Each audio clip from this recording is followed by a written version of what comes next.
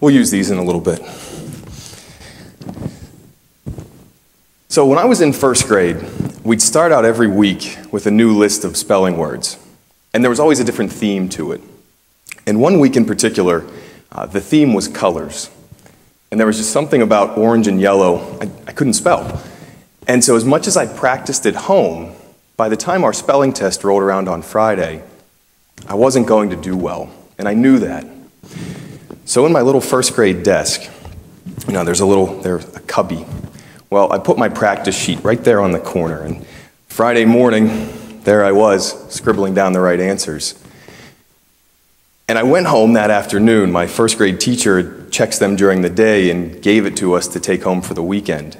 And when I got home, I ripped the test out of my book bag and I showed my parents, and I was expecting this look of joy and admiration. Uh, instead, my mom gave me this sort of inquisitive and questioning look. And the next thing out of her mouth was, spell the word yellow. I was busted. I was done. And all she said to me is that Monday morning, you have to go in and tell Mrs. Jones what you have done. That was the worst possible punishment. Because what I didn't tell you about Mrs. Jones is that if she wasn't a first grade teacher, she would have had a very lucrative career as a linebacker in the NFL.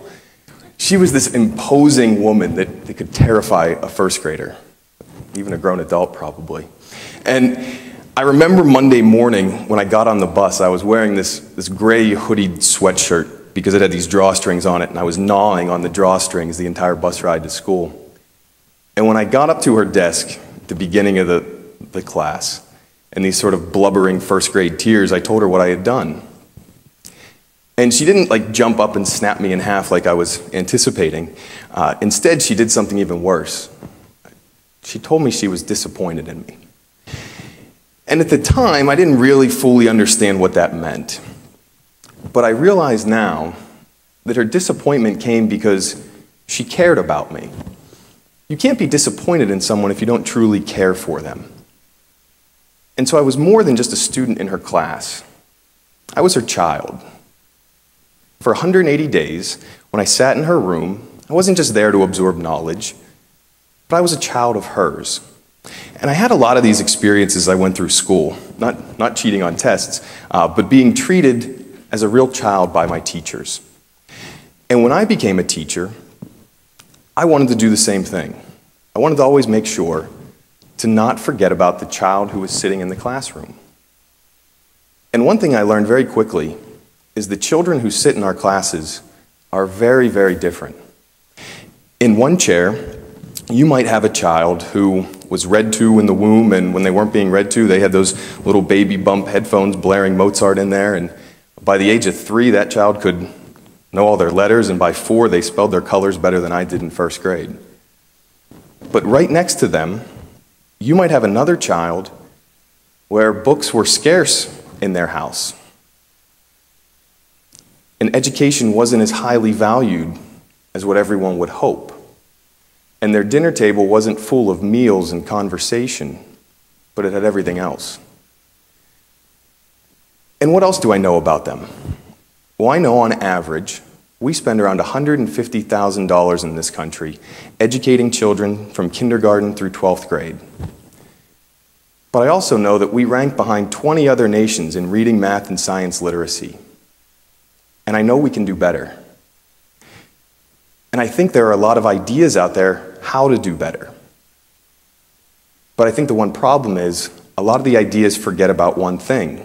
And it's something Mrs. Jones would never have forgotten about. And it's the child who sits in these chairs. So, what are some of the fixes? Let's talk about them. So, let's say we're in third grade. In third grade, we're going to learn fractions. And fractions are just hard. So here's a fix. We're going to try online video learning. You're going to go home, you're going to watch a lesson, and you're going to come back to school and practice it. Well, this child, they go home, but mom can't help. Mom was at the PTA meeting that night, so dad does. And dad cues up the video and they talk about it, they rewind, they go through examples. They even take their snack and split it up and they see fractions. Well, the other child goes home and there's no one there to help. Both parents are out working. And so they cue up the video, they're ready to learn, and a younger sibling comes barging through and interrupts the whole beginning of the lesson. And now they're even more frustrated to go to school the next day. So we have to understand that some learning for students, unfortunately, can only take place in the classroom. But as third grade continues, we need to figure out what they learned. And what better way to do that than through some standardized test that's made by some faraway corporation driven only by profit, the results of which we're not going to see for months. Well, we find out some children were proficient and passed their test, and then we find that others uh, weren't. So that must tell us one thing.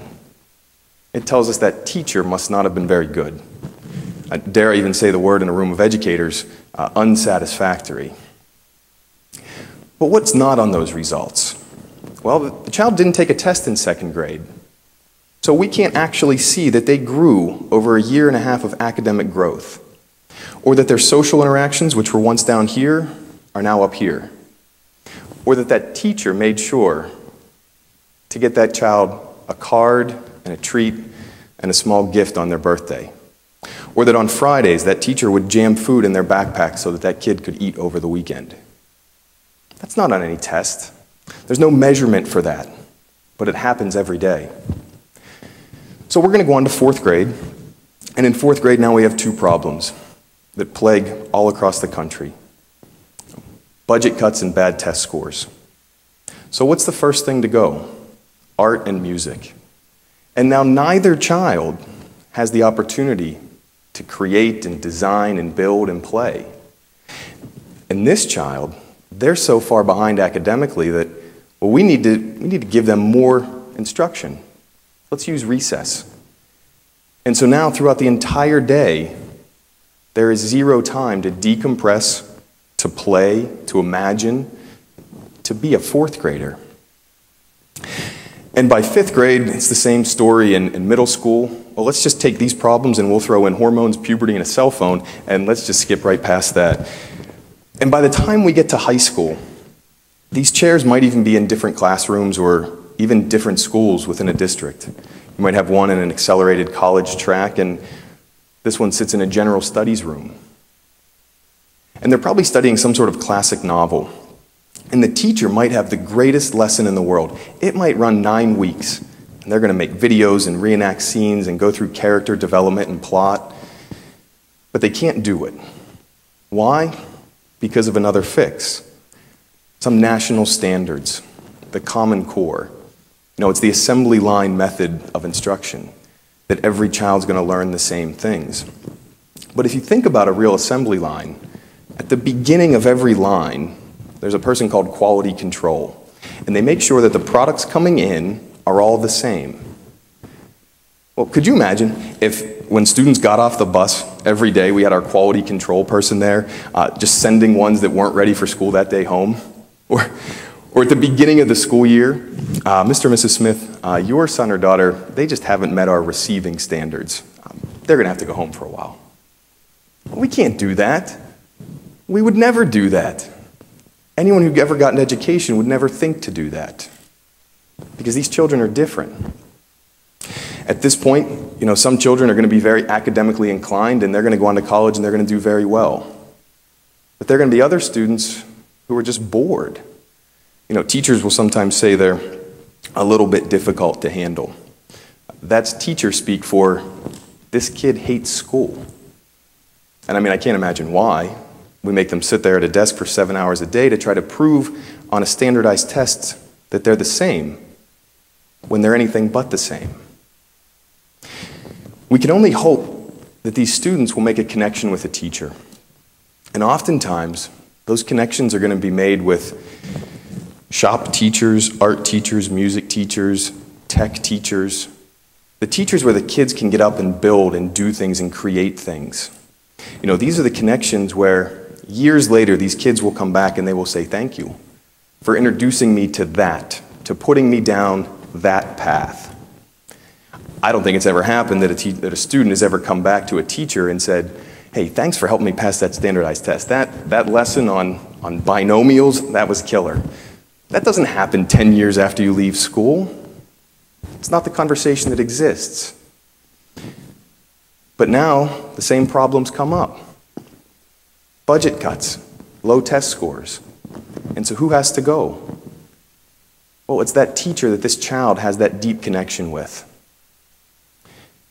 And that teacher comes in early, stays late, enriches every child's life. And why do they have to go? Well, because they're probably the youngest. And tradition says whoever has been here longer must be a better teacher because that's who always gets to stay. Well, that's not a fix for education. But what about technology? Can we use technology to fix education? Absolutely. It can certainly be a part of it. But alone, it's not going to fix anything. So, what is the fix? I don't know.